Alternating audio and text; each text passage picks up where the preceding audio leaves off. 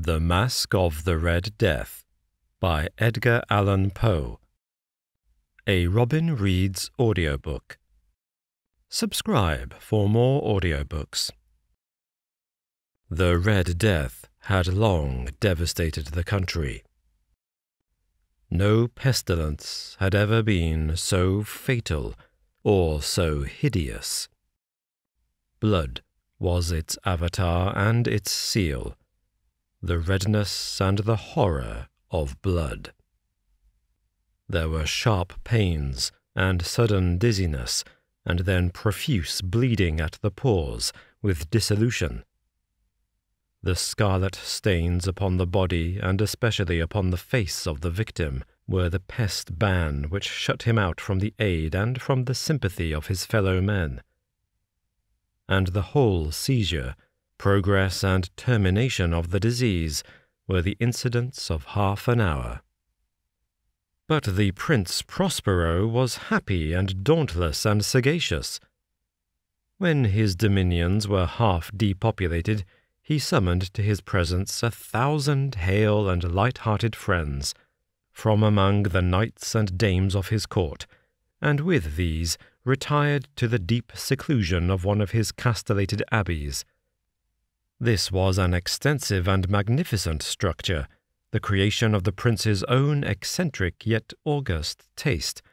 A strong and lofty wall girdled it in. This wall had gates of iron. The courtiers, having entered, brought furnaces and massy hammers and welded the bolts.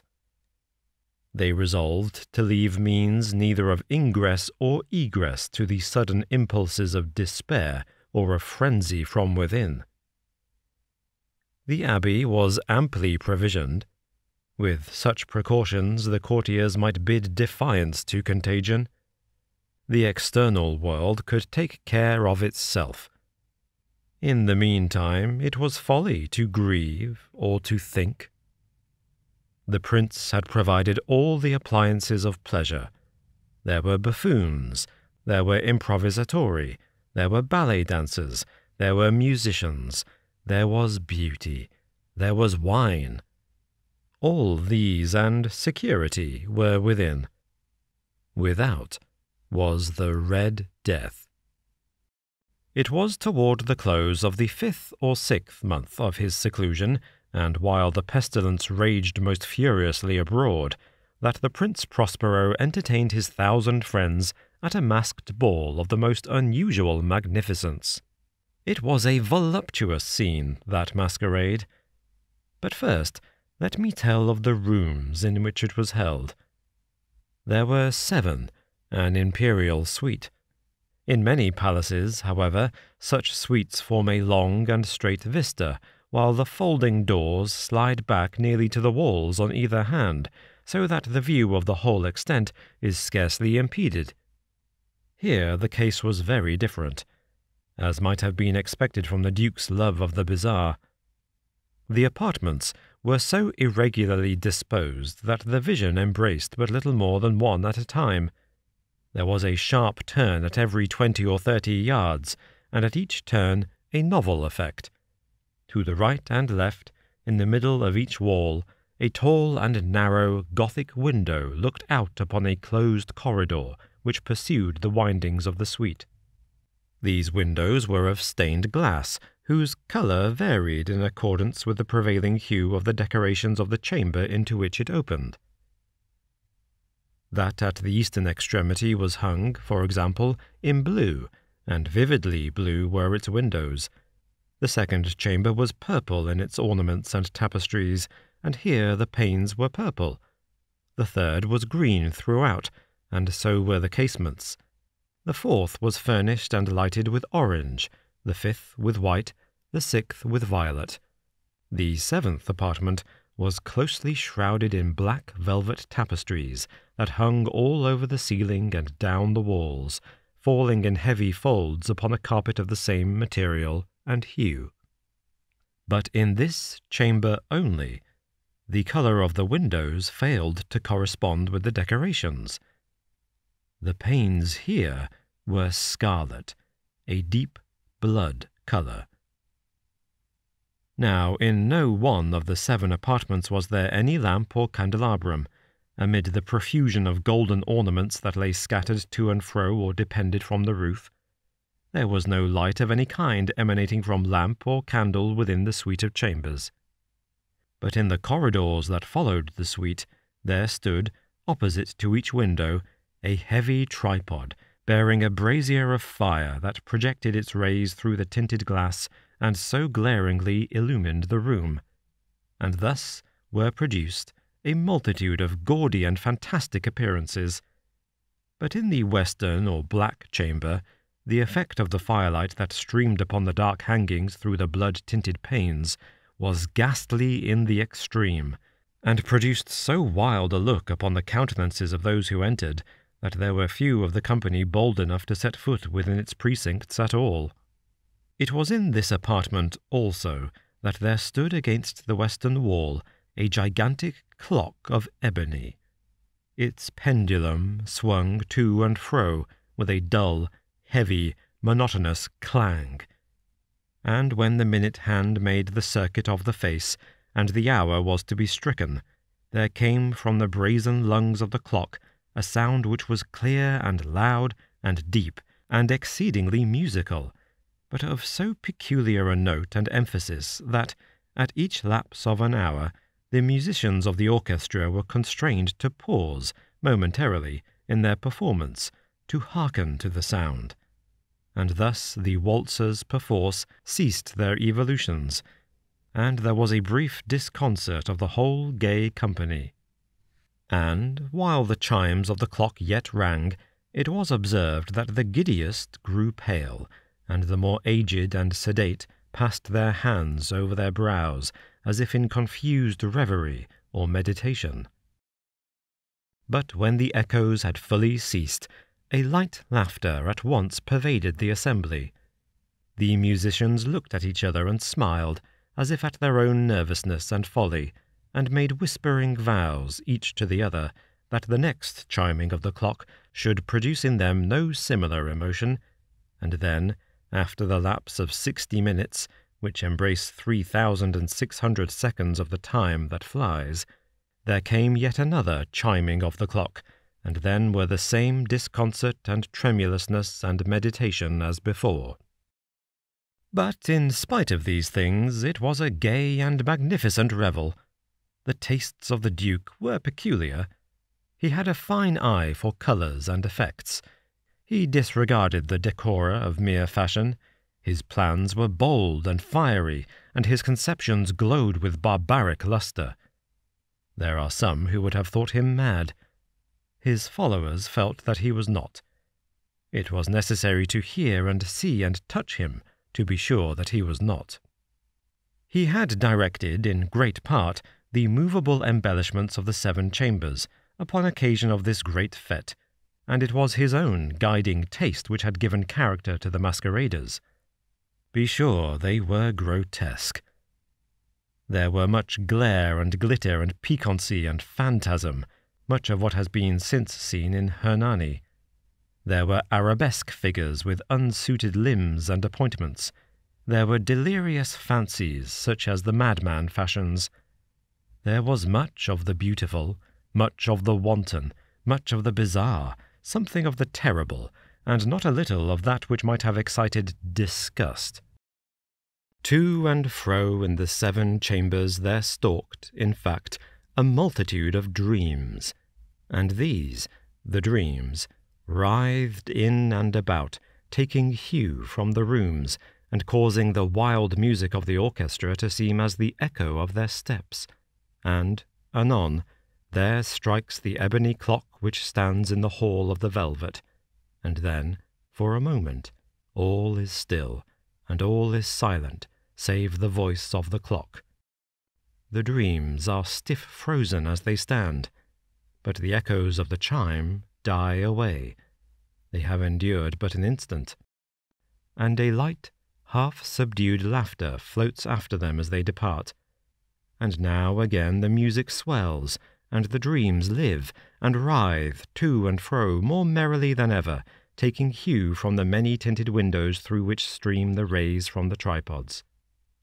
But to the chamber which lies most westwardly of the seven, there are now none of the maskers who venture, for the night is waning away, and there flows a ruddier light through the blood-coloured panes, and the blackness of the sable drapery appalls, and to him whose foot falls upon the sable carpet, there comes from the near clock of ebony a muffled peal, more solemnly emphatic than any which reaches their ears who indulge in the more remote gaieties of the other apartments. But these other apartments were densely crowded, and in them beat feverishly the heart of life, and the revel went whirlingly on, until at length there commenced the sound of midnight upon the clock, and then the music ceased, as I have told, and the evolutions of the waltzers were quieted, and there was an uneasy cessation of all things as before. But now there were twelve strokes to be sounded by the bell of the clock, and thus it happened, perhaps, that more of thought crept, with more of time, into the meditations of the thoughtful among those who revelled, and thus, too, it happened, perhaps, that before the last echoes of the last chime had utterly sunk into silence, there were many individuals in the crowd who had found leisure to become aware of the presence of a masked figure which had arrested the attention of no single individual before. And the rumour of this new presence having spread itself whisperingly around, there arose at length from the whole company a buzz or murmur expressive of disapprobation and surprise, then, finally, of terror, of horror, and of disgust. In an assembly of phantasms such as I have painted, it may well be supposed that no ordinary appearance could have excited such a sensation. In truth, the masquerade license of the night was nearly unlimited, but the figure in question had out Heroded Herod, and gone beyond the bounds of even the prince's indefinite decorum. There are chords in the hearts of the most reckless which cannot be touched without emotion. Even with the utterly lost, to whom life and death are equally jests, there are matters of which no jest can be made. The whole company, indeed, seemed now deeply to feel that in the costume and bearing of the stranger neither wit nor propriety existed. The figure was tall and gaunt, and shrouded from head to foot in the habiliments of the grave. The mask which concealed the visage was made so nearly to resemble the countenance of a stiffened corpse that the closest scrutiny must have had difficulty in detecting the cheat. And yet all this might have been endured, if not approved, by the mad revellers around, but the mummer had gone so far as to assume the type of the Red Death. His vesture was dabbled in blood, and his broad brow, with all the features of the face, was besprinkled with the scarlet horror. When the eyes of Prince Prospero fell upon this spectral image, which, with a slow and solemn movement, as if more fully to sustain its rôle, stalked to and fro among the waltzers. He was seen to be convulsed, in the first moment with a strong shudder either of terror or distaste, but in the next his brow reddened with rage. Who dares? he demanded hoarsely of the courtiers who stood near him. Who dares insult us with this blasphemous mockery? Seize him and unmask him, that we may know whom we have to hang at sunrise from the battlements. It was in the eastern or blue chamber in which stood the Prince Prospero as he uttered these words. They rang throughout the seven rooms loudly and clearly, for the prince was a bold and robust man, and the music had become hushed at the waving of his hand.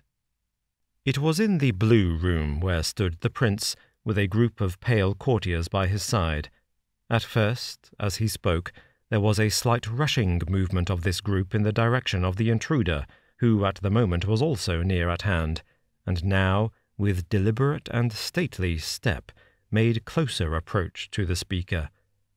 But from a certain nameless awe with which the mad assumptions of the mummer had inspired the whole party, there were found none who put forth hand to seize him. So that, unimpeded, he passed within a yard of the prince's person, and, while the vast assembly, as if with one impulse, shrank from the centres of the rooms to the walls, he made his way uninterruptedly, but with the same solemn and measured step which had distinguished him from the first, through the blue chamber to the purple, through the purple to the green, through the green to the orange, through this again to the white, and even thence to the violet, ere a decided movement had been made to arrest him. It was then, however, that the Prince Prospero, maddening with rage and the shame of his own momentary cowardice, rushed hurriedly through the six chambers, while none followed him on account of a deadly terror that had seized upon all. He bore aloft a drawn dagger, and had approached, in rapid impetuosity, to within three or four feet of the retreating figure, when the latter, having attained the extremity of the velvet apartment, turned suddenly and confronted his pursuer. There was a sharp cry, and the dagger dropped gleaming upon the sable carpet, upon which, instantly afterwards, fell prostrate in death the Prince Prospero. Then, summoning the wild courage of despair, a throng of the revellers at once threw themselves into the black apartment, and, seizing the mummer, whose tall figure stood erect and motionless within the shadow of the ebony clock, gasped in unutterable horror at finding the grave cerements and corpse like mask which they handled with so violent a rudeness untenanted by any tangible form. And now was acknowledged the presence of the Red Death. He had come like a thief in the night, and one by one dropped the revellers in the blood bedewed halls of their revel, and died each in the despairing posture of his fall, and the life of the ebony clock went out with that of the last of the gay, and the flames of the tripods expired, and darkness and decay and the red death held illimitable dominion over all. Thank you for listening to Robin Reads Audiobooks. If you enjoyed this audiobook, then please like, subscribe, share this video with your friends, and click the bell notification icon to keep up to date with all future uploads. This audiobook will also become available on Spotify, Audible, Bandcamp, and other audiobook platforms.